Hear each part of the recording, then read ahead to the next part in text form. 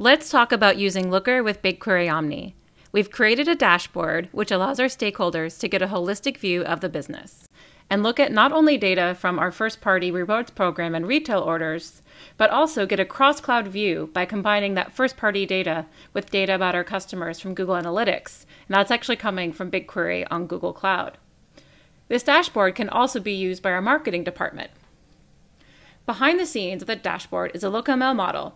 The data is coming for our BigQuery project, and these views are powered by BigQuery Omni, all analytics is running directly on the AWS region where the S3 data is stored.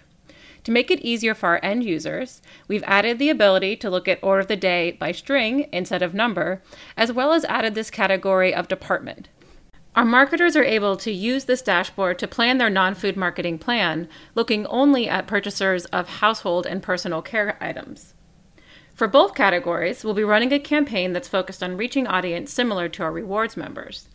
But as we observe, unlike household, personal care has a larger percentage of first purchasers. This means that we should also run a personal care goods promotion for our existing customers.